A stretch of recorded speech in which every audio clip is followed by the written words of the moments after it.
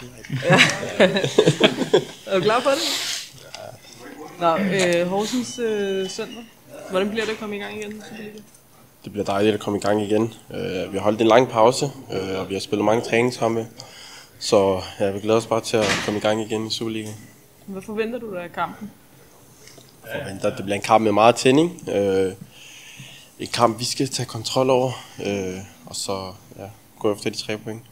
Og jeg har sagt farvel til Maxi og Rosted, øhm, øh, så kommer vi til at se en øh, Kevin Tjempe, som altså, ligesom tager et, et, et skridt op i forhold til det med lederskab og, og ansvar på banen.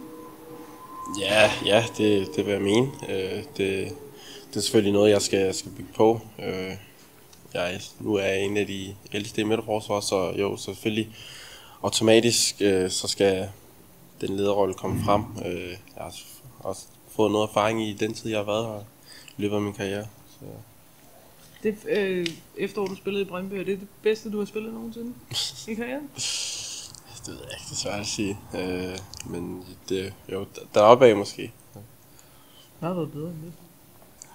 Grund, grund til at røge til Brøndby er også en god øh, sæson. Øh, ja. Kevin, hvordan oplevede du den situation mellem Slimane og Greve i tirsdags? Nå, altså, det er jo, det er jo noget, der, det er jo noget, der sker til træning, og det er, hvad det er. Der er selvfølgelig, der, skal, der er tænding på til træning, og nogle gange så føler folk det godt, måske kan være lidt over en man må gå til den, eller hvad man siger, men det,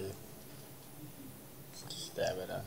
Vi vil bare hele tiden ved med at høre, at jamen, det er bare noget, der sker. Og sådan lidt. Altså, jeg har aldrig slået en kollega, og hvis jeg gjorde, tror jeg ikke, det ville øh, blive taget så godt imod. Altså, kan du ikke prøve at forklare, er det helt normalt i fodboldverdenen, at man går og slår sine holdkammerater? Selvfølgelig er, det ikke, selvfølgelig er det ikke normalt at bare gå og slå sine holdkammerater på fodboldbanen eller uden for banen.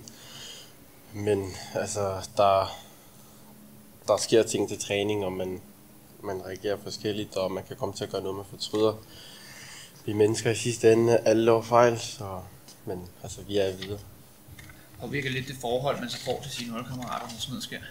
Nej, Kevin, øh, på øh, søndag der kunne det godt ligne, det blev dig i vinter, der skulle den øh, stopperpar. Hvordan bliver det med sådan en gammel Lyngby stopperpar sammen? Altså, hvis det bliver meget vinter, så er det selvfølgelig dejligt at spille med ham igen. Øh, jeg kender jo Vinter fra min tid i Lyngby, og vi har spillet mange kampe sammen i Lyngby øh, i tremandforsvar. Øh, Vi har spillet et par kampe sammen, hvor der har været i to mand, eller fire, fire bagkæde.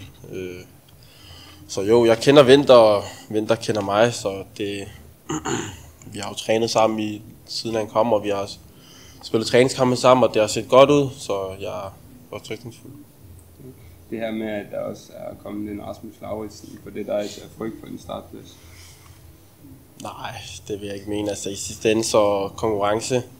Det var vigtigt med konkurrence på, på alle pladser, og det, det gør jo bare, at jeg endnu mere skal være på til træning. Øh, øh, jeg er selvfølgelig også i kampe, så jeg tager det som en, ja, en motivation, eller hvad man siger, øh, for mig selv, så jeg kan udfordre mig og sørge for at holde mig selv skarp hele tiden. Fordi de andre presser på. Vi er, vi er fem midterstopper om to pladser, så jeg skal selvfølgelig gøre mit bedste hver gang. Nu har der lige været et transfervindue. Har du spekuleret over din egen fremtid der? Nej, slet ikke. Jeg har altid vidst, eller jeg vidste, at jeg ville blive i Brøndby. Hvordan kommer I til at håndtere det der med, at øh, det bliver en lidt anderledes øh, stadion på, øh, på søndag, når der ikke øh, kommer øh, stemning og Fenerbahce og alle de her ting? Altså, er, der, er der noget anderledes op i hovedet, når man ikke har det der tryk, som vi plejer? Jamen altså, nu prøvede vi det jo lidt inden øh, vi gik på ferie. Øh, så jo, det er selvfølgelig anderledes. Øh, vi, vi vil selvfølgelig gerne have, at der har været den stemning, som Brøndby er kendt for, men øh, ja, altså, vi forbereder os, som vi altid gør, så der ikke er en Fenerbahce, og der ikke er lige så god stemning. Det vigtigste er, at vi præsterer på banen. Så skal stemningen nok komme af sig selv, selvom det ikke er koordineret på den måde, som det plejer. Men, øh, Okay, men I har, I har fået at vide af klubben, hvorfor og alle sådan nogle ting? Ja, ja, ja, det er vi blevet informeret om.